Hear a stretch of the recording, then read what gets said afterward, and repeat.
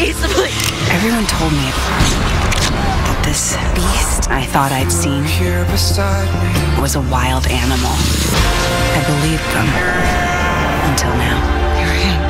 Beauty and the Beast. New series coming this fall to the CW.